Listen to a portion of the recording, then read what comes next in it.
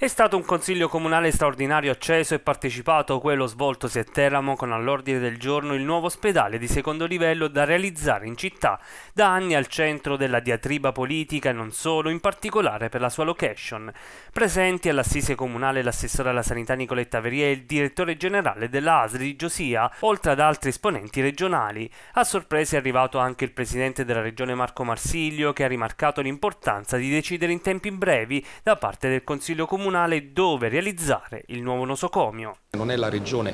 che decide a danno della città dove si debba fare, se la città ha delle buone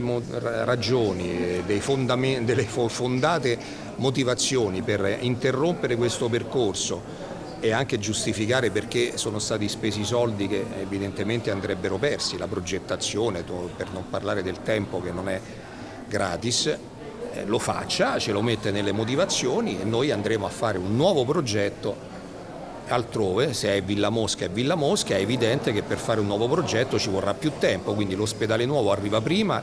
se si dà continuità al percorso già fatto e che sta andando avanti da anni senza che nessuno ci avesse mai detto di fermarci o di fare diversamente. Di diverso avviso il sindaco di Teramo, Gian Guido D'Alberto. La Regione Abruzzo poteva decidere già prima e può decidere oggi immediatamente sulla realizzazione di un nuovo ospedale a Villa Mosca a destinazione urbanistica sanitaria, quindi non, non, non accettiamo questo gioco del, del rimpallo di responsabilità. Siamo qui per approfondire ulteriormente la discussione e se serve fare un ulteriore atto di indirizzo che segue quello che abbiamo già detto in campagna elettorale, nelle linee programmatiche e che è chiaro ed evidente. In realtà eh, eh, quello che è emerso oggi è che la Regione ha già assunto con il centrodestra a questo punto diciamo, d'accordo con il centrodestra teramano di realizzare il nuovo ospedale non a Villa Mosca ma realizzarlo a, a Piano Daccio. Eh, oggi viene qui in una situazione di grande difficoltà di contraddizione politica, eh, mi farò carico io di trovare la soluzione la strada col Presidente della Regione per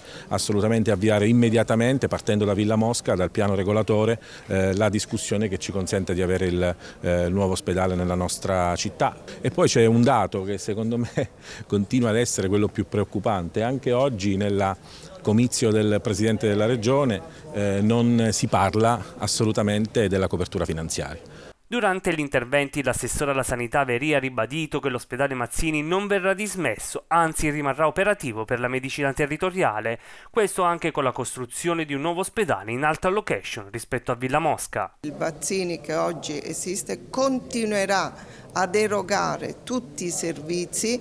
per i pazienti che hanno bisogno di indagini diagnostiche, dialisi, riabilitazione, radiologia, ospedali di comunità, casa di comunità. Quindi la presa in carico di tutti quei servizi nel paziente, del paziente sul territorio avverrà presso l'ospedale denominato Mazzini, cosiddetto il vecchio ospedale.